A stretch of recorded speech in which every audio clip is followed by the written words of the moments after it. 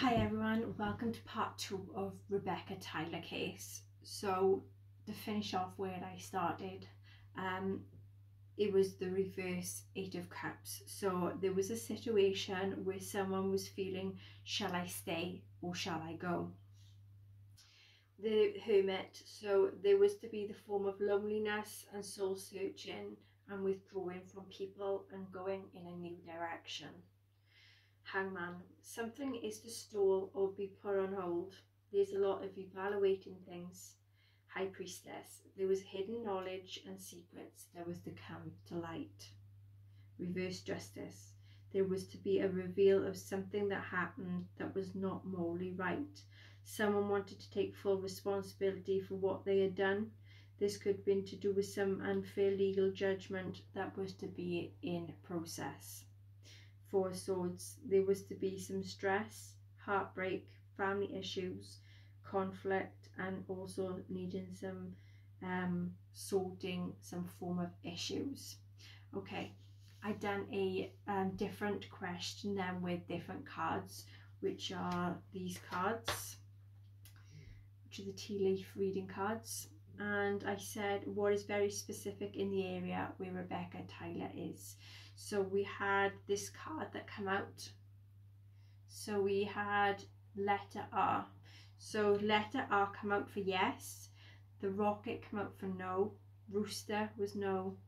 Ring was no. And the rose was no.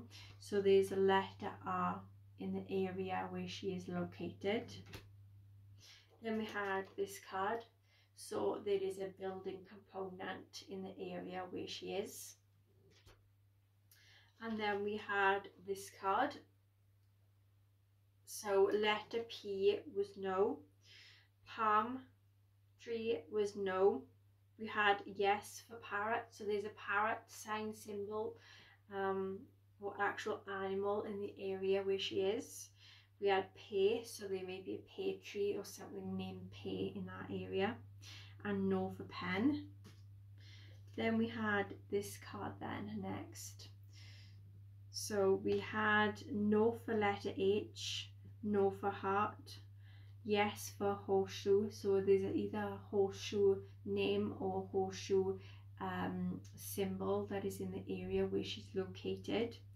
We had no for hourglass and no for house. Then we had this last card that come out then. So letter C was no, candle was no, car was no, castle was no but yes for a cat so there's a cat sign symbol or name in that area where she is so we have the letter R for very big relevance in the area's name. We have a building component. There is a parrot sign symbol name or animal which is.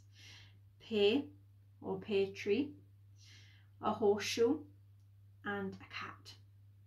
Okay then everyone, so that is the case of Rebecca Tyler. I hope you all enjoy these videos and if so, please like, share, subscribe and hit that notification bell and I see you again in the next case. Bye bye.